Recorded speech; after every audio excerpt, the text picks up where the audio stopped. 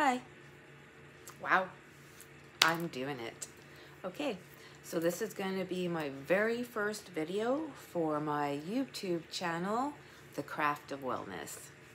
And The Craft of Wellness actually is going to be a whole bunch of different things in there, but basically we're going to go through my my self-care journey to my authentic self and everything that I learn and everything that I practice and everything that I get from it, I'm going to share with you because I am telling you, doing this whole self-care thing is life-changing. And I'll give you so many examples of how that is. And so I've got my goals and my dreams and my desires and my dog right here. Talk about Sadie. Sadie. There she is. And that's also some of the books and stuff that I've been using that I will share with you as well. I gotta see what's going on with her. Come here, baby girl. Come here. One thing I've learned is that time is short and precious. And you know what? I could shoo her away and I can tell her to go lay down. But you know what? She's going to be 13 in March and I'm not going to have her much longer. And so I'm going to take this second to just give her that attention that she needs. Acknowledge, right? Give her what she needs, fill that love cup up, and then I can carry on. And that's the way pretty much that I'm starting to live my life, like that, with realizing that time is not really on our side. Maybe it's because I'm turning 50 in a couple years and I'm starting to click, right? But really, it isn't. And pushing someone away or not doing what you want to do or not being who you are, wow, what a waste of time that is that you're not going to get back. Because when you do finally do this and you be you, you find your authentic self, you would wish you would have done it so many years ago. Like, really? If I could talk to the 20 year old me. But what's really interesting is that I have.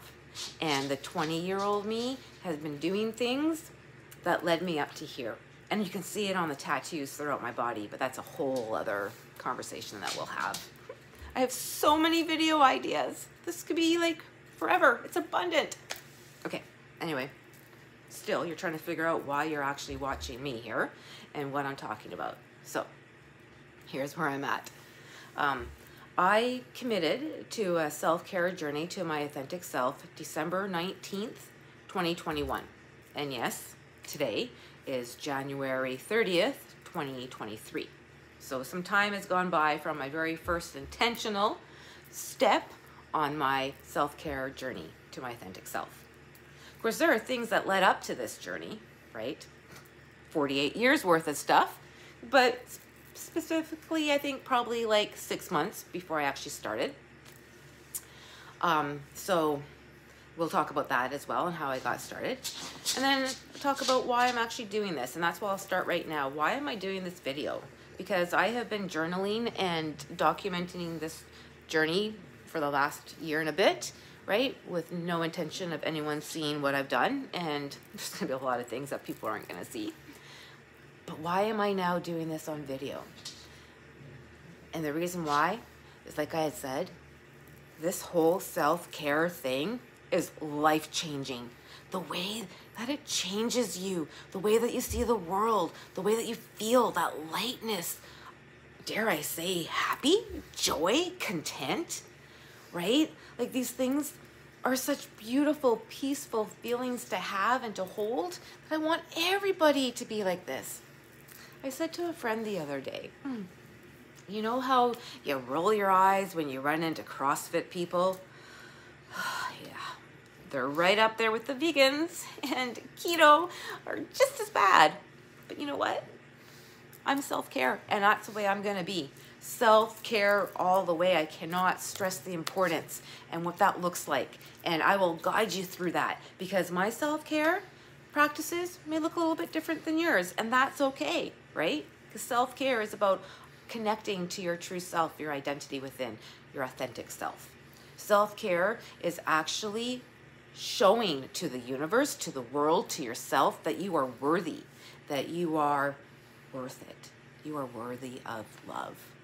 You are worthy of being heard and validated. You play a vital role in this world. It's actually really true. And the things that you learn about yourself throughout this, hmm, not shocking. We know a lot about self. And kind of, ooh, dirty. Didn't really like that, but we had to acknowledge it about self. But all these things make us who we are. And I think that's beautiful. And once we identify that and live with our true, authentic self, where our values and our beliefs are aligned with the direction and the path, the journey that we're on, you get that peace, that feeling. Uh, peace isn't quite the word, but it's the only word that I think we have right now for that. Okay. So, again, why am I doing the video? Because I want to share. But why this? Well, through my journey, and I'll talk about that in the next couple videos and stuff, but through my journey, um, I turn to people who are in this field, who are on their own paths, and how do they do it, and what does it look like, and what does it mean? Um, and of course, so I, I, reach out and I find people like uh, my girlfriend really loves the Jay Shetty, so she hooked me up with him. Mm, not really my thing. He's okay. No offense or anything, Jay love to be on your show if you ever see me.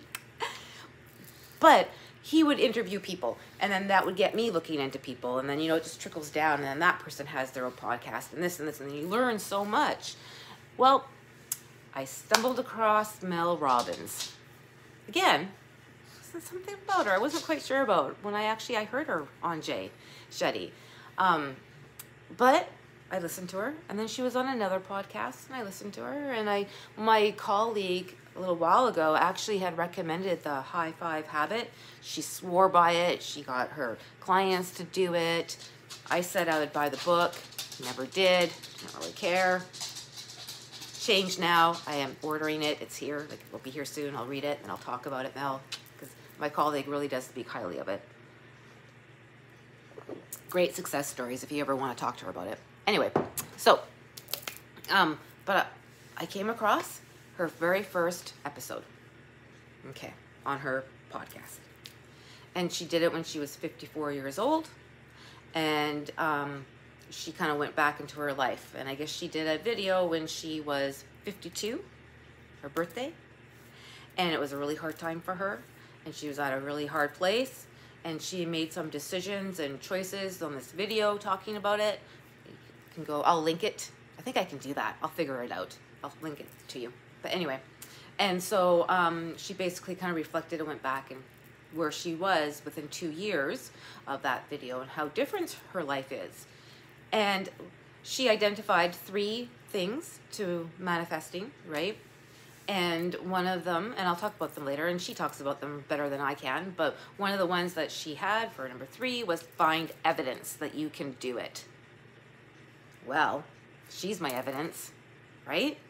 And uh, my kid has like a TikTok thing, so that's evidence. And Jay Shetty, that's evidence. And even like Gabor Mate, he's evidence. And like all these people, um, Deepak, I think that's how you pronounce it, he's evidence. So all of these people, and I can say so many more names, but all these people are doing what I want to do, which is share that feeling, that feeling that you get when you are in that state of calm, where there's no drama, where there's no stress, where everything just falls into place, where all your needs are met, where all your desires are had, where all your wants are taken care of. You got it. It is such a beautiful, peaceful place to be, and I want everyone to be there. And so then I have ideas of how that can look like. This YouTube channel, right? Um, and podcast. And I want to be on talk TED Talks. I can say that eventually. TED Talks. There you go. I said it on January 30th, 2023. I'm going to be on TED Talks and I'm going to be talking about self care. I've got some self care workshops that I'm going to be doing out in the community. I'm really trying to spread that. So, this is the first step of making my dreams, my wants, reality. To live my dreams. And um, I don't know if you can see it right here. Ah. okay, it's a tattoo that says, I am worthy of having dreams and living them. I have it tattooed on me. That statement there was life changing. Brings tears to my eyes, actually. And it was probably about six months before I started my self care journey that I actually realized I was worthy of dreams and living them. But when I made that realization, a whole fucking, what would it be, door opened up. Because, well, what are dreams? What are goals? Like, what does this mean? Because I'm very goal driven and we know that, right? I set a goal and I obtain it because that's just what you do. But is a goal a dream? What's the difference? When does a goal turn into a dream or a dream into a goal? Anyway, I had to figure all that kind of stuff out. And we're not going to talk about all that now. Point is, about six months ago, I realized I am worthy of having dreams and living them. I'll let that sit there for a second. Wow. And I told a colleague of mine, I won't mention his name, but I told him.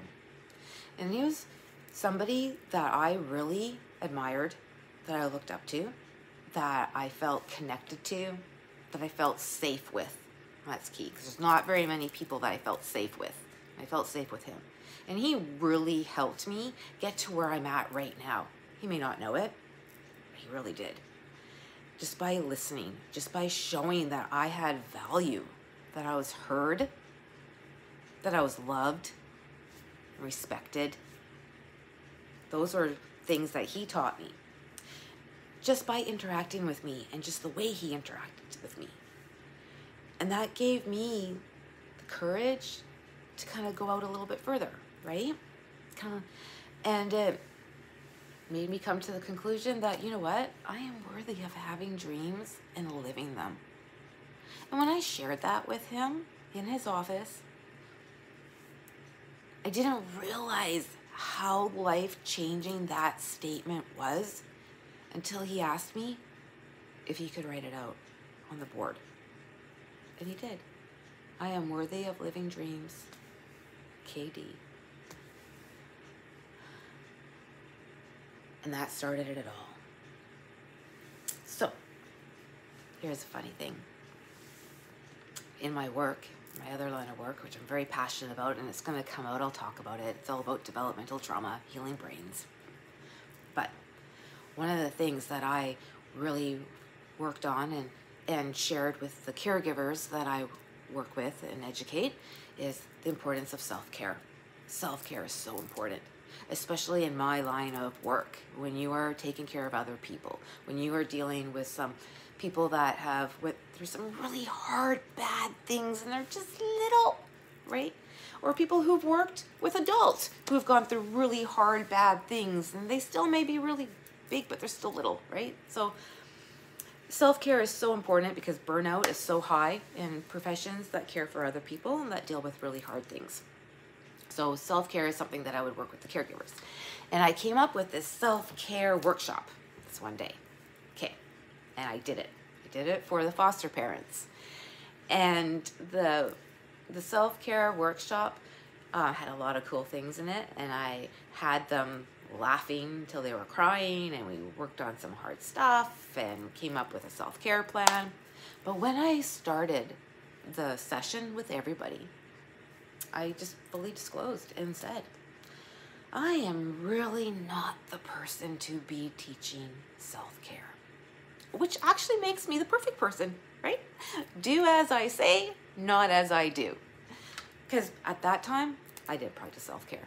Well, what would self-care be? Hmm, because we used to think self-care was all about, you know, going out, having a drink. I didn't drink, so I didn't do that. Self-care, you know, going to the spa. I never did that. Um, we'll talk about all that kind of stuff later. So anyway, I said to them that self-care is not really my thing. But I knew the importance of it, and I knew that I had to share the information. And so I did several self-care workshops and would start off like that and really do believe that they need to take care of them. And when i worked with clients i would always bring in that self-care piece because it's so important right? And then also the forgiveness piece of self and having some compassion for self. I would do that with them. Didn't practice it but i would do it for them because they're worthy of it. Because I even said to them, You're worthy of this. You are worthy of self care. You are worthy of love. I said that to clients, and I never did it. Right? It's just weird how all these things kind of happen. Anyway, so back in the office with my colleague, and he wrote up, I'm worthy of having dreams. And, and um, I was doing my self care workshops, and life is pretty good. I'm actually kind of happy, right? And then, you know, your Amazon uh, news reel there, right? And they always come up with things that you might like, recommendations. So they always have some kind of recommendation that they think you'll like. And this book, so this recommendation came out when I was actually facilitating self care. Okay? The Witch's Book of Self Care came up in my Amazon recommendation. And I saw this book and I was like, oh my God, a sign. Guess who's a witch? And who does self care? I totally need this. So I got it. You know, what I practice has nothing to do with the self care, just so you know. It's not all that. But it's my spiritual side, and it is what I practice. So, of course, it does come in. Anyway, but when I do my workshops, we don't go all witchy. Or do we? Okay, so this book came in. It came in literally the next day. You know how they have that next day order? Got it. I think I didn't even open it. I'm like, oh, cool. And put it on my shelf. And it sat there for a while. A long while, actually. Almost six months, I guess. And then I decide, oh, I should open it because I wanted to re, like, you know, update and redo my PowerPoint slides for my self-care workshop. So good. Maybe they got some good stuff in here. And then I open it and I start looking. And, you know, it's your really basic, basic stuff. And it talks about, you know, stereotypes of self-care and the self-care guilt, right? And then how to release that guilt. These are all kind of really good stuff we need to know about. I'm talking about the importance and about being authentic. And just like really good start. But what I wanted to read here to you is what it said. At its most basic, engaging in self care is about self respect. Self care is about taking care of yourself, making that stand, and declaring that, yes, you are important, you do matter. Simple self care is part of your efforts to be, to be the best person that you can be. An idea that resonates, resonates in magic. Okay, well, can we edit that? Anyway, we're not going to talk about that. Um, point is, is that it said self-care is about self-respect. That, for some reason, really hit home for me. It's about taking care of yourself and making that stand and declaring that, yes, you are important, you do matter. That's what I said to the clients all the time. You matter. You're worth it and I wasn't even doing it for myself. That just kind of made me go, wait a minute. I want respect. Huh. Anyway, I started and I did the first exercise and I did what needed to be done. And that's how I ended up. So from this book to this book, because then I get into mindfulness, right? which ends up to oh, gratitude and this book. We can do a whole session on this book. It is basically what it is. Like, seriously? It's 3,000 questions all about you. What's your favorite bedtime story? What's your favorite restaurant? How fast can you run? Do you think parenting classes should be mandatory for all parents? Random questions. You know how hard it is for me to do this book? It really, it is hard. I actually something I'm gonna have to work on. All the other books. Anyway, okay. Running out of time. So I'm gonna kind of wrap it up for this session. Yay me. So I started with that book, and that book led to the Daily Blessings book, and this led to that book, and this book gets to the point now where for over a year, every day I write. I write like some kind of gratitude exercise or some kind of self-reflection thing happening, you know, self-care practice. I have a routine that I really stick to in the morning. Routine is self-care, by the way.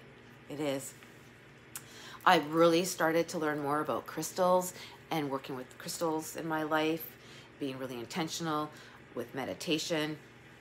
I struggle with meditation. This is something actually a big reason why I wanted to do this with everybody who's going to come along is to let them know that meditation is hard, really. And I half the time when I do it, like when I was doing my 21 days of appreciation or abundance, pardon me, 21 days of abundance challenge with Deepak there, um, I was hard. And out of that, however, five minutes that we actually meditate, I might have done it like 30 seconds in stillness because half the time I'm thinking about, am I doing it right? Yeah, okay, so that's a whole thing, which is why I'm redoing it again. Anyway. So I want to be like, share that kind of stuff because seriously, I think Mel Robbins said it. If I can do it, anyone can do it. And it is so true. If I can do it, anyone can do it. Wow. That says a lot. And I want to be alongside and help because it would have been nice if I had somebody alongside and helped. I mean, I had people come to me at all the right times, and I'm so blessed on the journey that I started and that I'm going to continue on for all my days and become a crone. That's another story, too. Anyway, um, okay, so before I end, here's an interesting story. I did this book. Seriously? I did this book probably mm, like my middle son would have been two, so like 20 years ago. 20 years ago. It's the first time I did this book. And then I did it again when my younger son was probably two.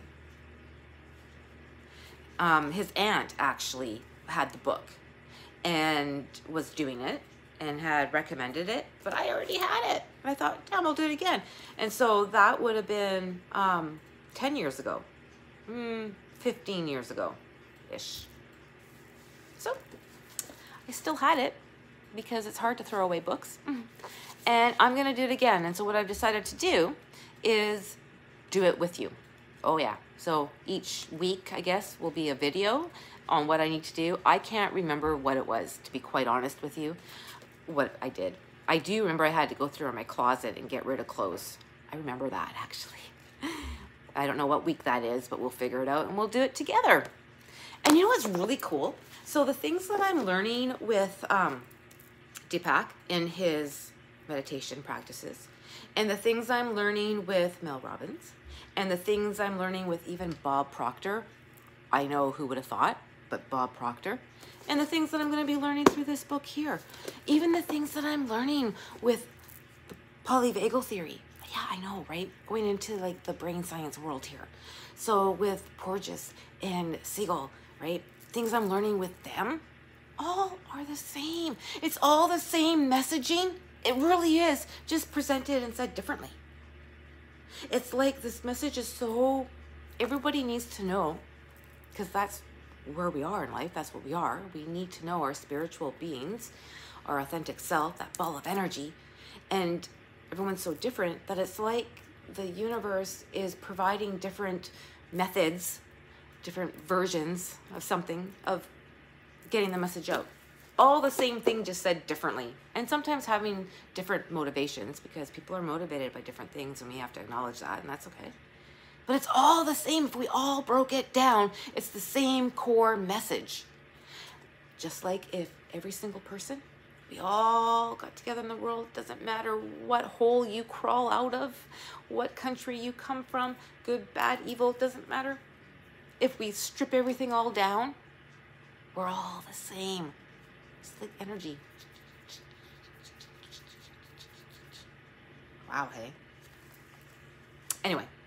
So I hope that you enjoy my ramblings because there will be a lot of them.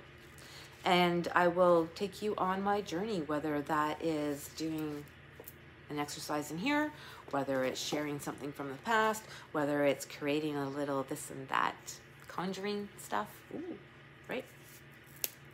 We'll do it alongside. I'll share my journey. I'm open.